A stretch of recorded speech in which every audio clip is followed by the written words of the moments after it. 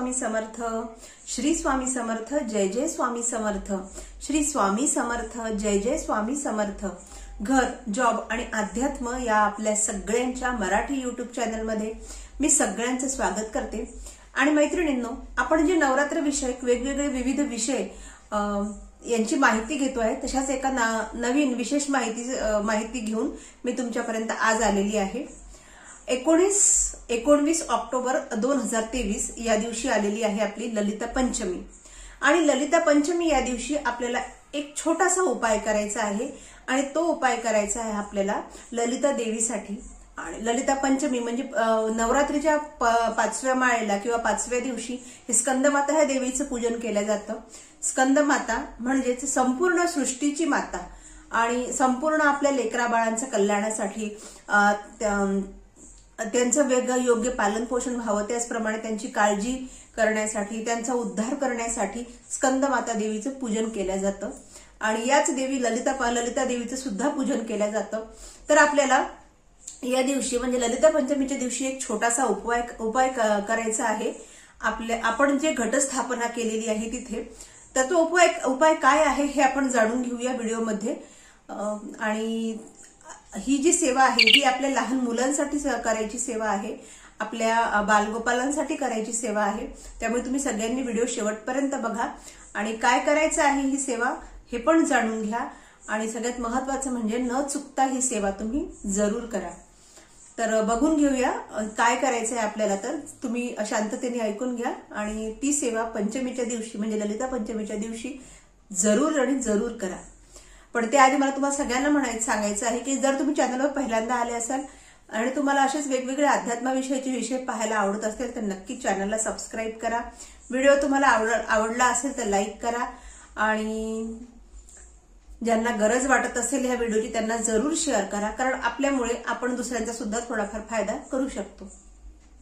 आणि आणखीन एक गोष्ट महत्वाची सांगायची आहे तुम्हाला की आपल्या चॅनलवर जे आपण शॉर्ट व्हिडिओ टाकतो त्या शॉर्ट व्हिडिओच्या माध्यमातून दररोज शिव महापुराणातील एक छान आणि सुंदर आणि वेगवेगळ्या समस्यावरचा उपाय आपण आपल्या शॉर्ट व्हिडिओच्या माध्यमातून टाकत आहे. त्यामुळे तुम्ही ते शॉर्ट व्हिडिओ सुद्धा जरूर बघा.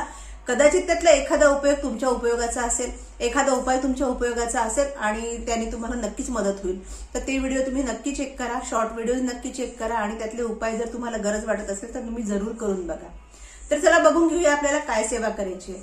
तर ललिता पंचमी ह्या दिवशी ललिता देवीचे पूजन केले जातं. त्याचप्रमाणे स्कंदमाता देवीचं पूजन केलं जातं. तर आपल्याला ह्या दिवशी काय करायचं आहे की ज्या दिवशी आपण ज्या ज्या ठिकाणी आपण घटस्थापना केलेली आहे म्हणजे आई भगवतीचा आपण घट मांडलेला आहे काही जण प्रत्येक जण आपापल्या कुळाचाराप्रमाणे घट मांडत असतात. काही घटावर देवी झोपून ठेवतात. आपल्या स्वामी समर्थ महाराजांच्या केंद्राप्रमाणे.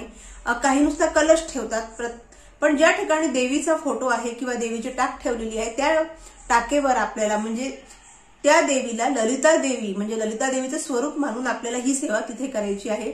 तर आपल्याला काय करायचं आहे त्या दिवशी आपल्याला अठ्ठेचाळीस दुर्वांची जुडी नॉर्मली एकवीस सोळा जुड दुर्वा आपण देवांना अर्पण करत असतो. पण या दिवशी आपल्याला ललिता पंचमीच्या दिवशी आपल्याला अठ्ठेचाळीस दुर्वांची जुडी आपल्याला ललिता देवीचं स्मरण करून त्या टाकावर किंवा ज्या ठिकाणी तुम्ही घटस्थापना केली आहे जिथे देवी विराजमान केलेली आहे तिथे तुम्हाला अर्पण करायची आहे आणि त्याचसोबत आपल्या मुळा मुलाबाळांचं रक्षण करण्याचं त्यांची प्रगती करण्याचं त्यांचं कल्याण करण्यासाठी तिला नम्र विनंती करायची आहे.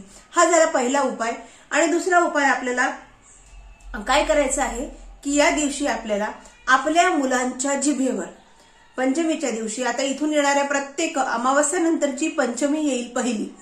त्या अमावस्याच्या नंतर येणाऱ्या पहिल्या म्हणजे शुद्ध अमावस्यानंतर जी पंचमी येते त्या पंचमीला आपल्याला प्र- आपल्या मुलांच्या जिभेवर या पंचमीपासून सरस्वती मातेचा बीजमंत्र काढायचा आहे. बीजमंत्र तुम्हाला माहिती आहे आई ऐरणीचा आई आणि त्यावर अनुस्वार. ऐम ऐरणीचा आई आणि त्यावर अनुस्वार. असा ऐम हा बीजमंत्र आपल्याला आपल्या लहान मुलांच्या जिभेवर सोन्याच्या काडीने किंवा दर्भाच्या काडीने दर्भ म्हणजे एक प्रकारचं गवत असतं ते ज्या भेटलं तर ठीक आहे पण जर नसेलच तर सोन्याच्या काडीने आता तुम्ही म्हणाल सोन्याची काडी कशी आणायची? तर आपल्याकडे एखादी बाळी वगैरे असेल तुम्ही त्याने सुद्धा काढू शकता किंवा हातातली अंगठी असेल तर अंगठीने सुद्धा आपल्या मुलांच्या जिभेवर एम हा सरस्वती मातेचा बीज मंत्र आहे. तो आपल्याला जरूर काढायचा आहे. यामुळे आपल्या मुलांची बुद्धिमत्ता तीव्र होते त्यांची बुद्धी तीक्ष्ण होते आणि त्यांची एका अभ्यासामध्ये त्याचप्रमाणे कुठलीही कार्य करण्याची जी एकाग्रता आहे ती एकाग्रता वाढीस लागते.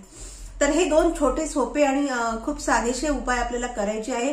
तुम्ही जरूर करा आणि इथून पुढे येणाऱ्या अमावस्येनंतरच्या प्रत्येक पंचमीला हा उपाय न चुकता करा.